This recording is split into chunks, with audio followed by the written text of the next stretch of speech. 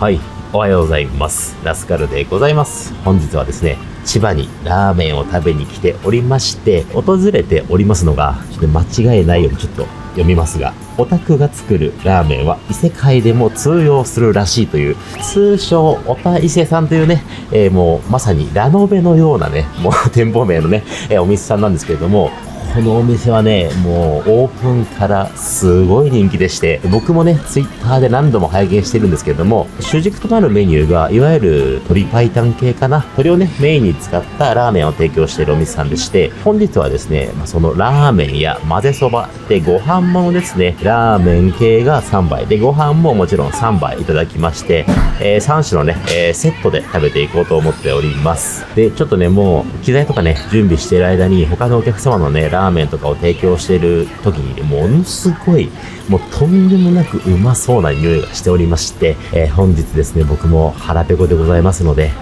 えー注文したね、メニューが到着するまで、もう少々待ちたいと思います。ということで、本日ですね、1杯目にいただきますメニュー、到着いたしました。1杯目にいただきますのがこちら、鶏そばということで、トッピングもですね、フルにさせていただいております。うまそう。いただきます。これがね、いわゆるあの、券売機の一番上のデフォルトメニューになるんですけれども、ちょっとすっごい、スープがすごい、濃厚さやばいな。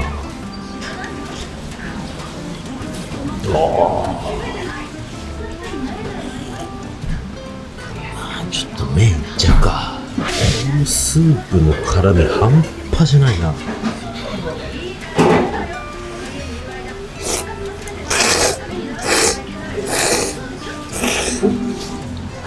うんうまっ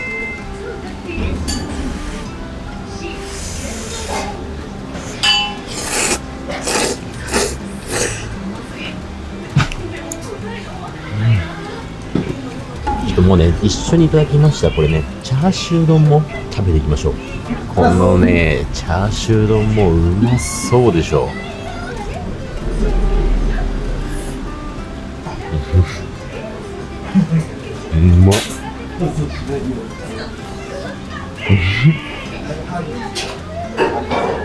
今回ね、大盛りで注文してるんですけど、これ一瞬でなくなっちゃうね。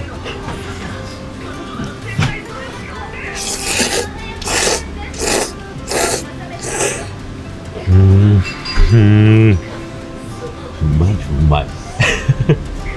ちょっとね、これ系の鶏白湯は他では食えないかも。うまいな。うん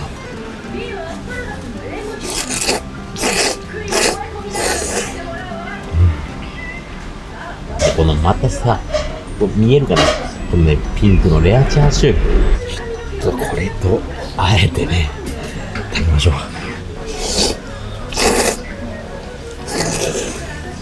うんうん。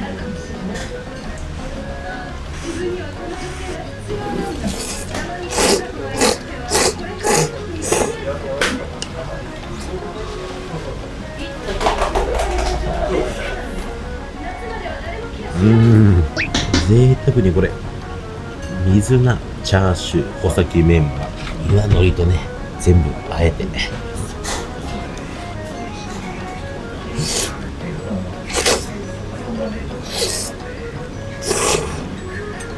うん。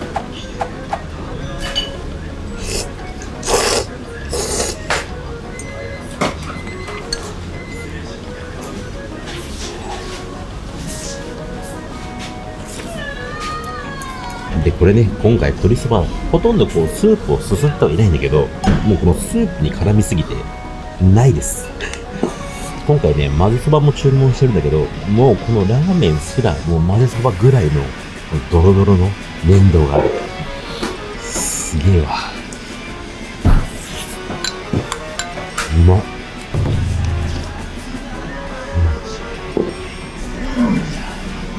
まず一杯目ですね。ごちそうさまでした。ありがとうございます。ということで、本日ですね、2杯目のラーメンが到着いたしました。えこちらね、2杯目いただいておりますのが、本日の限定の商品ということで、先ほどはドロドロ系のね、鶏白湯だったんですけれども、こちらの限定は、一応、ドロドロしてない鶏白湯みたいですが、まあね、もうね、スープ見る限り、確かにドロドロはしてないけど、濃度はすごい。早速ね、こちらもいただきたいと思います。でもうね、この匂いだけで分かったんだけど、このスープには、白トリュフのオイルがかかってるわ。でも香りがすごくいいのよ。ちょっといただきますか。あー、う。う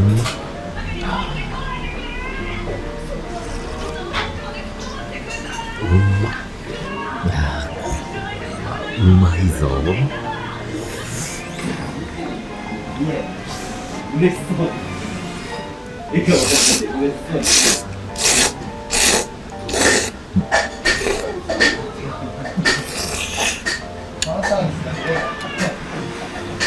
あ、これ、うんまいですね。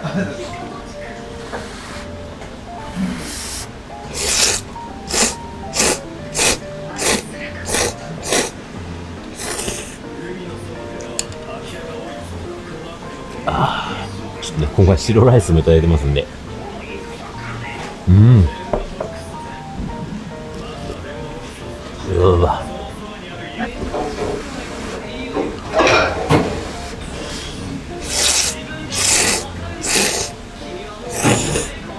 うんこの麺好きだなさっきのね麺に比べてもこのちょっと乾水の感じとかあとは全粒粉の香ばしい香りそれがね強く感じる麺なんでこのねトリュフオイルのこの上品な香りとベースのねパイタンの鶏の旨味とそこのね辛みが絶妙。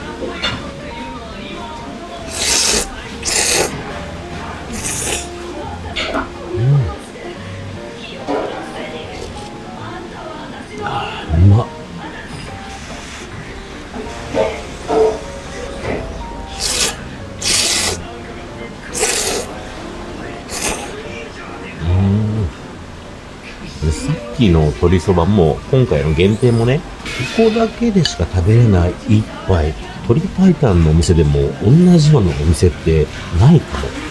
ここにハマったらもうここに来るしかないって感じ。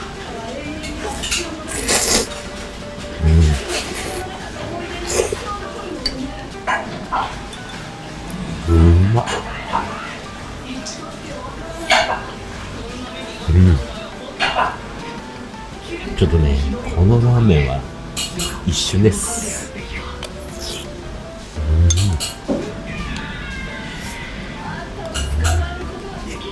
うんうまっ混ぜてやりましたよ。はいということで、本日ですね、最後にいただきます3杯目が到着いたしました。3杯目にいただきますのが、濃厚煮干しということで、まあ、常連のお客さんでもファンが多いメニューみたいなんで、早速ね、こちら、いただきます。でこちらですね、混ぜそばなんで、しっかりとまず混ぜさせていただきますね。うわこれちょっとやばいよ。うまそう。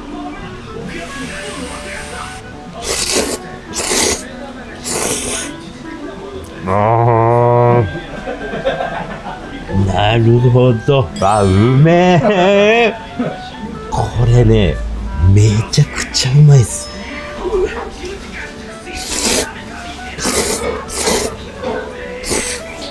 うん。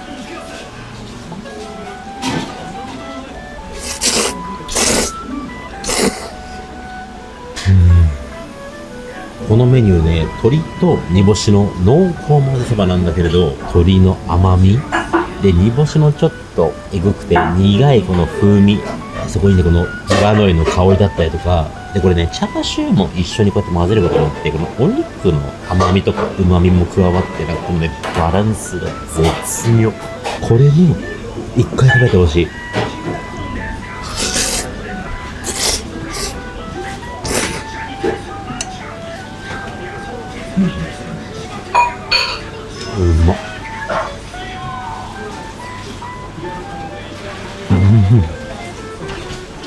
一応ね、今日のメニューはこの3杯目で終わりなんですけど、あの、正直、今までいただいたこの3杯、もう一周したいぐらい全部うまい。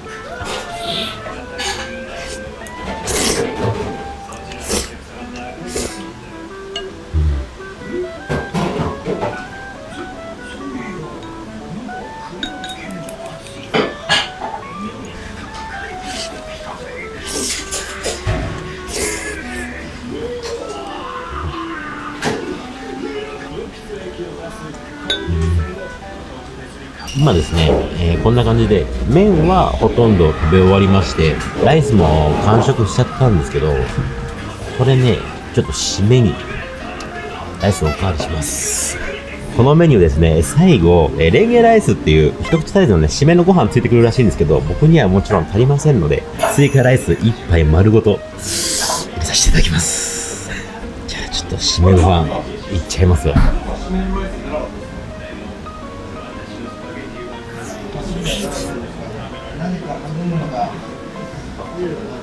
うわうまっ。うんまっ。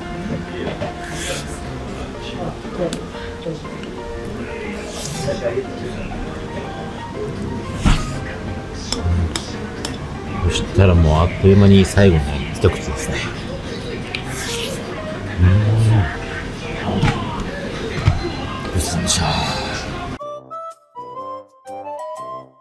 ということで、本日はですね、こちら、お大使さんで、レギュラーメニュー2品、で、限定メニュー1品、で、ライスもですね、えー、4杯 食べてしまいました。本当にね、鶏白湯好きの方だったら、ぜひね、一度食べてほしいですし、鶏白湯がね、むしろちょっと苦手なんですよって方にこそ、このね、旨味と濃度の詰まったラーメン、一回食べてほしいです。ぜひですね、気になる方はこちらのお大使さんで、このラーメンですね。で、本日食べてないつけ麺等もございますので、えーぜひね、こちらのメニュー、食べてみてください。もう必勝でございます。はい。ということで、本日もご視聴ありがとうございました。この動画だと思ったら、チャンネル登録、コメント、高評価、またですね、最近ではサブチャンネルでも活動を行っております。こちらは概要欄からチェックしてみてください。それでは、また次の動画でお会いしましょう。じゃあね。ということで、本日もご視聴ありがとうございました。今回は本当の雑談コーナーということで、明日ですね、マックスさんの家族がですね、我が家に来てバーベキューをする予定がありまして、今日一日ですね、そのバーベキューの食材を買いに行ったりとか、みんな来てくれるから、チャーシューの仕込みをしたり、で、えー、バーベキューでね、子供が食べられるように、ちょっと甘辛く、えー下味をつけた手羽元をね、仕込んだりとやっていましたら、かなり疲れまして、気づいたらお昼寝しておりました。そのせいでですね、本日、ただいま時刻がですね、2時過ぎなんですけれども、全然眠気がありません。やばい。明日ね、バーベキューもしながら、プール出してね、まあ、子供4人いるの、いるので、こう遊ばせつつ、なんですけど、体力ね、持たない気がする。やばいね。で、これからですね、夏休みに入ってきて、お盆等も差し掛かってね、皆さんも、お子様のね、この夏休みが始まって、お休み、家にいる時間が長くなってくる日々が続くかと思います。疲労もね、溜まる一方かと思いますけれども、夏バテ等せずにですね、一緒に美味しいものを食べて乗り切りましょう。ということで、本日の雑談コーナーはこの辺りで、また次の動画でお会いしましょう。じゃあね。やばい。